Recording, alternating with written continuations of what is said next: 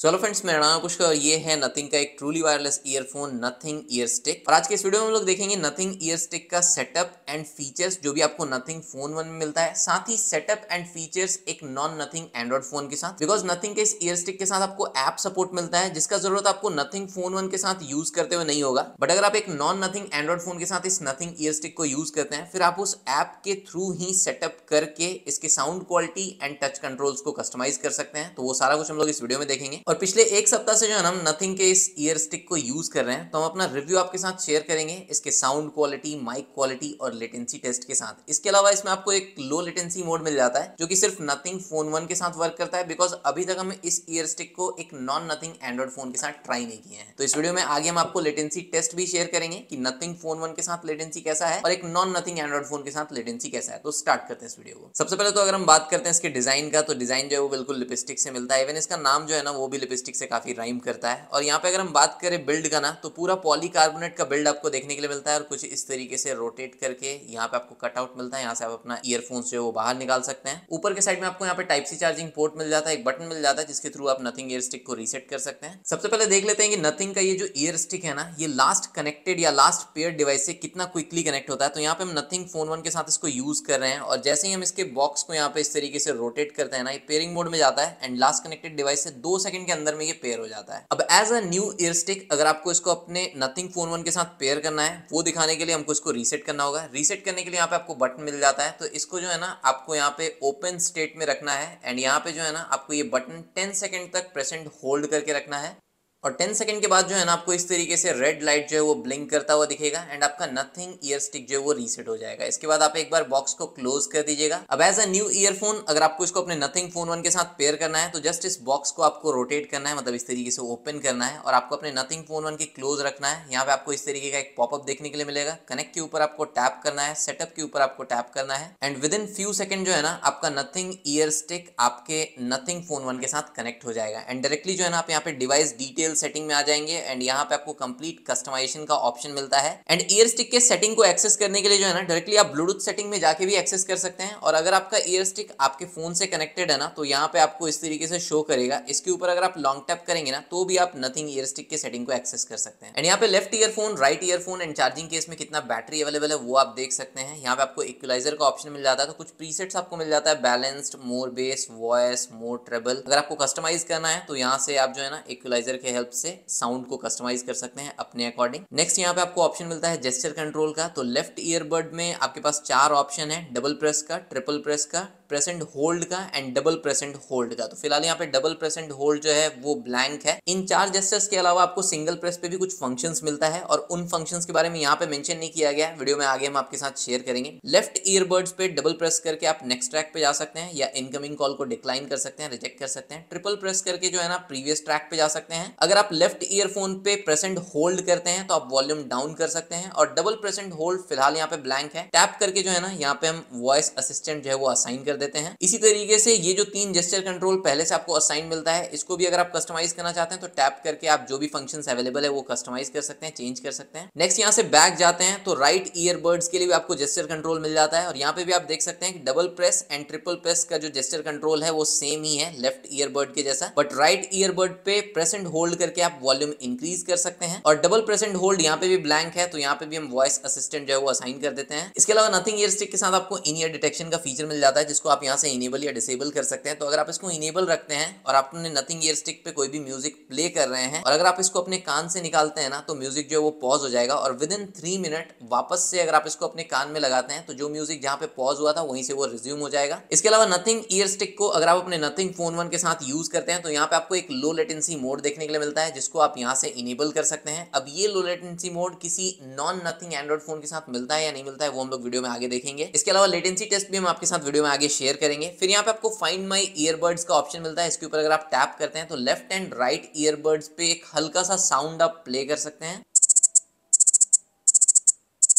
तो ये जो फाइंड माई ईयरबड्स के थ्रू आप साउंड प्ले कर सकते हैं ना, ये तभी काम करेगा या इसके थ्रू आप तभी अपने ईयरफोन्स को फाइंड कर पाएँगे जब एम्बियंट नॉइज़ काफ़ी कम हो या फिर आपका ईयरफोन जो है ना डेस्क पे रखा हुआ हो। बिकॉज़ अगर ये तकिया के नीचे होगा, आप अपने बेड के नीचे गिरा दिए तो हमको नहीं लगता है कि इस साउंड के थ्रू आप अपने ईयरफोन को फाइंड कर पाएँगे। इसके अलावा यहाँ पे आपको ए कोडेक को ऑन ऑफ़ करने का ऑप्शन मिल जाता है। फ़ोन कॉल्स के लिए इनेबल डिसेबल करना है मीडिया कॉल के लिए इनेबल डिसेबल करना है कॉन्टेक्ट शेयरिंग इनेबल डिसेबल करना है तो वो सारा ऑप्शन आपको यहाँ पे मिल जाता है। साथ ही यहाँ पे फॉर्मवेयर अपडेट के ऊपर अगर आप टैप करेंगे तो नथिंग ईयर स्टिक के लिए अगर कोई भी अपडेट आया होगा तो वो आप यहाँ पे चेक कर सकते हैं। इसके अलावा नथिंग के इस ईयर स्टिक को अगर आप अपने नथिंग फ़ोन वन के साथ यूज़ करें ना तो आपको इस तरीके का एक बैटरी लेवल इंडिकेशन वाला विज़िट भी देखने के लिए मिल जाता है। होम स्क्रीन पे लॉन्ग टैप करना है विज़िट सेक्शन में जो है ना, आपको यहाँ पे नथिंग एक्स का ऑप्शन मिलता है। इसके ऊपर टैप करके इस विज़िट को आप होम स्क्रीन पे प्लेस कर लीजिएगा। एंड इस विज़िट के थ्रू आपको एक्जैक्ट चार्जिंग परसेंटेज नहीं पता चलेगा, सिर्फ़ ग्राफिकल इंडिकेटर मिलता है इस तरीके का। अब जैसा कि मैं आपको बताया कि इसमें आपको जो है ना प्रेस करने का फीचर मिलता है टच करने का फीचर नहीं मिलता है। तो प्रेस करने के लिए जो है ना, यहाँ पे आपको ईयरफोन के नीचे में जो है ना इस तरीके का एक मेटल का प्लेट दिख रहा होगा तो इसी के ऊपर आपको प्रेस करना है।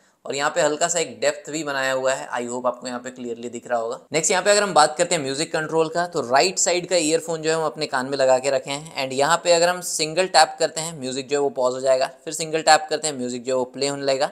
अगर हम यहाँ पे डबल टैप करते हैं तो हम नेक्स्ट ट्रैक पे स्विच कर सकते हैं इजिली एंड काफ़ी अच्छे से ये वर्क करता है। और अगर हम ट्रिपल टैप करते हैं तो हम प्रीवियस ट्रैक पे इस तरीके से स्विच कर सकते हैं। एंड यहाँ पे अगर हम राइट ईयरफोन पे प्रेस एंड होल्ड करके रखते हैं ना तो आप देख सकते हैं कि इस तरीके से वॉल्यूम हम इंक्रीज कर सकते हैं। अब यहाँ पे हम राइट ईयरफोन यूज़ कर रहे हैं। जो भी कंट्रोल्स हम आपको बताए सिंगल प्रेस का डबल प्रेस का या ट्रिपल प्रेस का, वो right earphone as well as left earphone के लिए सेम है। बट यहाँ पे अगर हम लेफ़्ट ईयरफोन में प्रेस एंड होल्ड करके रखते हैं ना तो यहाँ पे हम वॉल्यूम जो है वो डाउन कर सकते हैं और आप देख सकते हैं इस तरीके से वॉल्यूम डिक्रीज हो रहा है। नेक्स्ट यहाँ पे अगर आपको वॉइस असिस्टेंट इनेबल करना है तो हम आपको दिखाएँगे किस तरीके से जो है ना आप सेटिंग में जाके डबल टैप एंड होल्ड पे जो है ना वॉइस असिस्टेंट का फ़ंक्शन असाइन कर सकते हैं। तो यहाँ पे अगर हम डबल टैप एंड होल्ड करते हैं तो आप देख सकते हैं कि इस तरीके से वॉइस असिस्टेंट जो है वो पॉपअप कर जाता है। नेक्स्ट यहाँ पे अगर हम बात करते हैं कॉल कंट्रोल का तो किसी भी ईयरफोन पे जो है ना, आपको सिंगल टैप करना है एंड आप कॉल को आंसर कर सकते हैं। फिर सिंगल टैप करके आप कॉल को एंड कर सकते हैं। एंड अगर आपको कॉल को रिजेक्ट करना है तो किसी भी ईयरफोन पे जो है ना आप डबल टैप करेंगे एंड आप कॉल को रिजेक्ट कर सकते हैं। सो so, अभी आप देख सकते हैं कि ये जो मेरा नथिंग ईयर स्टिक है ये मेरी इस नथिंग फ़ोन वन के साथ ऑलरेडी कनेक्टेड है। अब इसको अगर हमको दूसरे डिवाइस के साथ कनेक्ट करना है ना तो यहाँ पे जो आपको बटन मिलता है इसको आपको थ्री सेकंड तक प्रेसेंट होल्ड करके रखना है। एंड आप देख सकते हैं कि यहाँ से ये डिस्कनेक्ट हो गया। डिस्कनेक्ट होने के बाद ये ऑटोमेटिकली पेयरिंग मोड में आ जाता है। और जो भी नियरेस्ट डिवाइस होगा ना उसमें आपको इस तरीके का एक पॉपअप देखने के लिए मिल जाएगा। यहाँ पे आप कनेक्ट के ऊपर टैप करेंगे और आपको एक ऐप डाउनलोड करने के लिए ऑप्शन देखने के लिए मिलेगा। जस्ट आपको यहाँ पे डाउनलोड के ऊपर टैप करना है और उसके बाद आपको प्ले स्टोर से जो है ना नथिंग एक्स एप्लीकेशन डाउनलोड कर लेना है। अगर आप एक non Nothing Android phone use कर रहे हैं तो। so, यहाँ पे Nothing X application automatically open हो गया। नोटिफिकेशन एक्सेस यहाँ पे आपको अलाउ करना है तो आप अलाउ कर सकते हैं या फिर आपको नोटिफिकेशन नहीं चाहिए तो आप यहाँ पे डोंट अलाउ पे टैप कर सकते हैं। फिर यहाँ पे आपको स्टार्ट के ऊपर टैप करना है। इसके बाद इनका एक इंप्रूवमेंट प्रोग्राम है।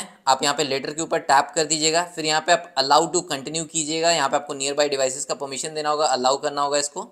एंड यहाँ पे आप देख सकते हैं कि ऑटोमेटिकली यहाँ पे ईयर स्टिक जो है वो डिटेक्ट हो गया है तो इसके ऊपर आपको टैप करना है। एंड उसके बाद आपको यहाँ पे सेटअप डिवाइस के ऊपर टैप करना है। फिर यहाँ पे आपको नथिंग ईयर स्टिक का जो भी कंट्रोल्स है ना, उनके बारे में बताया जाएगा। आपको नेक्स्ट नेक्स्ट पे टैप करना है एंड दैट्स ऑल के ऊपर टैप करना है। एंड आपका ईयर स्टिक जो है वो आपके एक नॉन नथिंग एंड्रॉइड फ़ोन के साथ इजिली कनेक्ट हो जाएगा। अब यहाँ पे आपको होम पेज पे जो है ना लेफ़्ट राइट ईयरफोन्स का एंड चार्जिंग केस का बैटरी परसेंटेज दिख जाएगा। फिर यहाँ पे आप इक्वलाइजर पे टैप कर सकते हैं। एंड यहाँ पे भी आपको उसी तरीके का प्रीसेट्स देखने के लिए मिल जाता है। कस्टम पे टैप करके आप जो इक्वलाइजर है मतलब कि साउंड है, उसको आप अपने अकॉर्डिंग सेट कर सकते हैं। इसके बाद यहाँ पे अगर हम कंट्रोल्स के ऊपर टैप करते हैं तो लेफ़्ट ईयरफोन में double press triple press press and hold and double press and hold का जो भी फ़ंक्शन है, वो आपको देखने के लिए मिल जाएगा। यहाँ से आप कस्टमाइज कर सकते हैं। इसके अलावा कुछ नॉन कस्टमाइजेबल फ़ंक्शन भी है, जैसे सिंगल प्रेस में प्ले पॉज कर सकते हैं आप म्यूज़िक को, इसके अलावा कॉल को आंसर कर सकते हैं कॉल को कट कर सकते हैं। यहाँ पे अगर हम राइट ईयरफोन पे टैप करते हैं तो यहाँ पे आप राइट ईयरफोन का जो कंट्रोल्स है, वो कस्टमाइज कर सकते हैं। एक बार जो कंट्रोल्स आप ऐप से सेट कर देंगे ना, जब आप अपने ईयर स्टिक को किसी दूसरे फ़ोन के साथ कनेक्ट करेंगे ना तो भी वो कंट्रोल्स एज इट इज़ रहेगा जब तक आप यहाँ से इसको रीसेट नहीं करते हैं। नेक्स्ट यहाँ पे कॉर्नर में आपको सेटिंग का आइकन मिल जाता है। यहाँ से आप इन ईयर डिटेक्शन को इनेबल डिसेबल कर सकते हैं। और हमको लगा था कि लो लेटेंसी मोड जो है ना, सिर्फ़ नथिंग फ़ोन वन के साथ ही काम करेगा। बट यहाँ पे लो लेटेंसी मोड का सपोर्ट मेरे Samsung S twenty F five G के साथ जब हम कनेक्ट किए तो यहाँ पे भी हमको देखने के लिए मिलता है। अब ये लो लेटेंसी मोड कितना इफ़ेक्टिव है,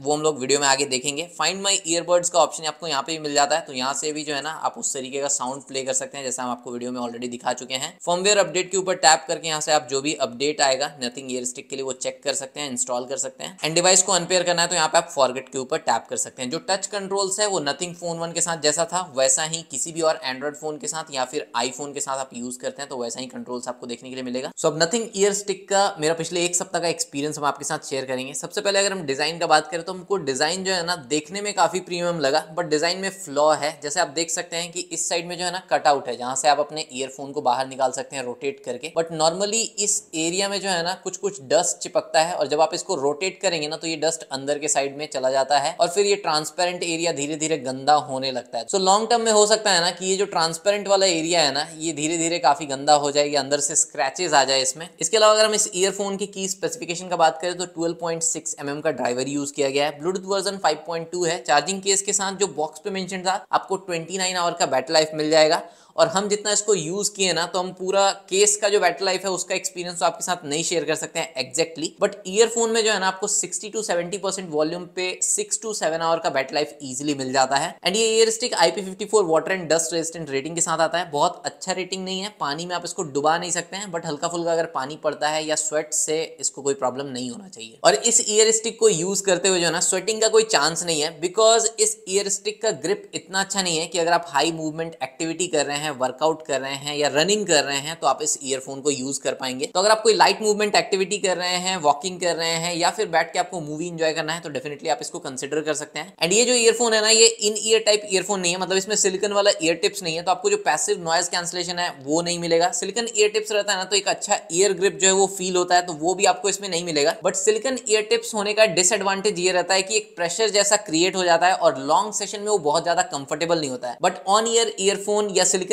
ईयर टिप्स ना होने का एक एडवांटेज ये है कि लॉन्ग सेशन ऑफ़ यूसेज में भी जो है ना, ये बहुत ही कंफर्टेबल रहता है। हम इसको कंटिन्यूसली जो है ना, छह से सात घंटे तक यूज़ किए एंड हमको बिल्कुल भी अनकंफर्टेबल फील नहीं हुआ। एंड इस ईयरफोन का जो ईयर ग्रिप है, ये अलग अलग ईयर के साथ वेरी कर सकता है। मेरे कान में ये काफ़ी कंफर्टेबली फिट हो जाता है। लाइट मूवमेंट में मूवी देखते समय या फिर घर में कुछ भी एक्टिविटी करते समय इजिली मेरे कान से ये बाहर नहीं निकलता है। नेक्स्ट यहाँ पे अगर हम बात करते हैं नथिंग ईयर स्टिक के साउंड क्वालिटी का साउंड क्वालिटी हमको काफ़ी इंप्रेसिव लगा। बेस में आपको काफ़ी प्रीमियम मिल जाता है, काफ़ी अच्छा ट्रेबल मिल जाता है। इसके अलावा जो इंस्ट्रूमेंट सेपरेशन है, वो काफ़ी अच्छा है। वोकल्स काफ़ी क्लियर है। काफ़ी अच्छा लाउड है ये। मतलब हाई वॉल्यूम पे भी कोई डिस्टॉर्शन हमको फील नहीं हुआ। एंड साथ ही आपको कस्टमाइजेशन का ऑप्शन भी मिल जाता है नथिंग एक्स एप्लीकेशन में, जहाँ से आप अलग अलग प्रीसेट्स को यूज़ कर सकते हैं। अगर आपको बेस बूस्टेड साउंड चाहिए, या फिर ट्रिबल बूस्टेड साउंड चाहिए, या फिर वोकल्स क्लियर चाहिए, या फिर आप साउंड को जो है ना इक्वलाइजर में कस्टमाइज भी कर सकते हैं। नेक्स्ट यहाँ पे अगर हम बात करें नथिंग ईयर वन के माइक के क्वालिटी का तो अब आप ये जो मेरा वॉइस सुन रहे हैं, ये नथिंग ईयर स्टिक के माइक से ही रिकॉर्ड हो रहा है। रिसीवर एंड पे जो मेरा वॉइस रिकॉर्ड होता है कॉल रिकॉर्डिंग हम आपके साथ शेयर कर रहे हैं तो आपको आइडिया लग जाएगा कि इसका माइक क्वालिटी कैसा है। हम ऑलरेडी इसका माइक क्वालिटी सुन रखे हैं और हमको काफ़ी अच्छा लगा है। और अगर आपको वीडियो यहाँ तक अच्छा लग रहा है ना तो आप वीडियो को लाइक कर सकते हैं चैनल को सब्सक्राइब कर सकते हैं, अपने फ्रेंड्स और फैमिली में शेयर कर सकते हैं। नेक्स्ट यहाँ पे अगर हम लेटेंसी का बात करें तो नथिंग फ़ोन वन के साथ और एक नॉन नथिंग एंड्रॉइड फ़ोन के साथ लेटेंसी टेस्ट अब हम आपके साथ स्क्रीन पे शेयर कर रहे हैं।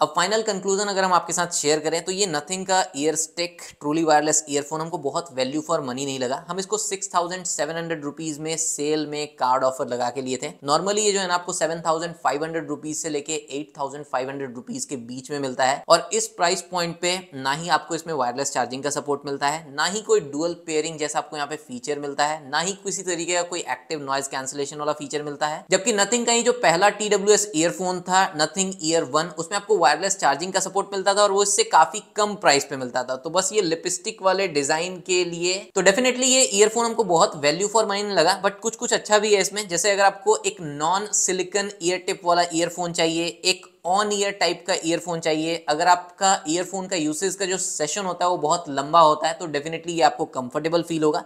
इसके अलावा साउंड क्वालिटी में हमको कोई भी कॉम्प्रोमाइज नहीं लगा इसमें। बट नथिंग का एक स्टेप हमको बिल्कुल भी अच्छा नहीं लगा कि नथिंग ईयर स्टिक को जो है ना नथिंग फोर्स करने का कोशिश करिए कंज्यूमर के ऊपर बिकॉज़ नथिंग ईयर वन जो कि इससे पहले लॉन्च हुआ था, वो ज़्यादा वैल्यू फॉर मनी था और उसको नथिंग डिसकंटिन्यू कर दिया। इवन आप उसको नथिंग के वेबसाइट से भी परचेज नहीं कर सकते फ्लिपकार्ट भी वो आपको देखने के लिए नहीं मिलेगा। सो फ्रेंड्स यही था नथिंग ईयर स्टिक का एक क्विक रिव्यू किस तरीके से आप इसके सारे फीचर्स को यूज़ कर सकते हैं। नथिंग फ़ोन वन के साथ या नॉन नथिंग फ़ोन के साथ किस तरीके से जो भी ऐप सेटअप है, वो सारा कुछ हम आपके साथ शेयर किए। अगर आपको वीडियो अच्छा लगा हो तो आप वीडियो को लाइक कीजिएगा चैनल को सब्सक्राइब कीजिएगा। मिलते हैं नेक्स्ट वीडियो में। बाय जय हिंद।